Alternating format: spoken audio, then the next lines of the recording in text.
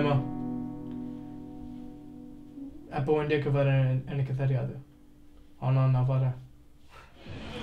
All right, one decaf tea for you because apparently someone is feeling very awake this morning. I just can't have the same cup of coffee every morning. Speak for yourself. Hey, are you, are you all right? Usually takes a few hours before you start to get all snappy with me. No, yeah, I'm fine. I just didn't get a lot of sleep last night. What? You have an interesting dream? Something like that.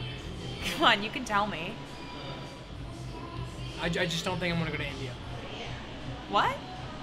Like, like you don't want to, or? No, no, I want to go. I just don't have the money for it. Damn. I'm sorry. I know how much that meant to you. I just- Seriously, it's whatever. I didn't have my heart set on it anyways. Oh, come on, Karthik. We'll make it work. Jules, Jules, I've thought about it a thousand times, and there's no way it's gonna work out. No, no, no, no, Jules, no, I'm stopping you right there. Karthik, it's not a big deal. Plenty of people use GoFundMe, and for shitty reasons too. You are connecting to your homeland, and I'm sure people would love to see a story about a family reuniting. I would love to go to Calcutta for a day. Oh my gosh, when most people go to India, they only hit the tourist spots. Calcutta's more than a thousand miles from Bangalore. Uh, it doesn't matter. I mean, how many days are we gonna be there again? Look, I was actually just gonna say that. Oh, I- well, it doesn't really matter anyway. I'm just so excited to go with you and go see India. And honestly, I was thinking that maybe we could. I think I know a guy who works at the Herald. He would totally let me take out an ad for the GoFundMe. I mean, people make these things for like fraud and walk away with thousands. That's not what I'm worried about. Trust me, Karthik, it's all gonna work out. I know it. Karthik? Hey, come look at this. We've hit 650 already. That's enough for one of the tickets, right? We're halfway there. We gotta buy soon though, so we get seats next to each other. Look, I really think that. Come on, Karthik. Don't be such a downer. Honestly, I didn't think the GoFundMe would be as successful as it was. But, you know, like, if we're still short a little bit, I can just call my parents. And I'm sure that your parents would want to pay. Oh my god, Jules! What? I mean, shouldn't they?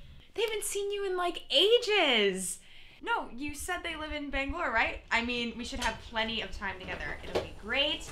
Uh, we can make dal tadka, and I can see if your mother makes it better than you. also, honey, you're uh, you're boiling the squash. It's gonna be mushy. You know I don't like it mushy, honey. God damn it, Julia! You're not going to India, so you can stop with the fucking GoFundMe, okay?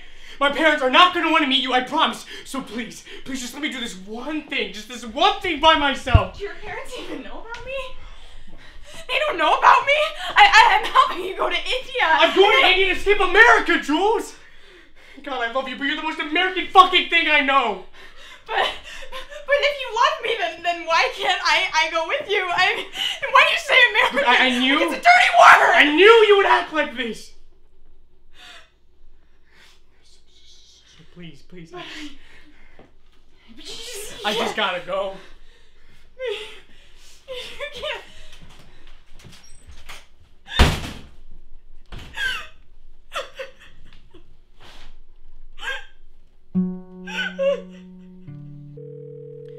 Hey, Jules.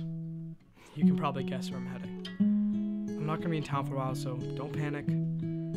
But I know I can't make you understand, and I just feel like I left a part of myself in India. I need this. There's no other way this could have gone.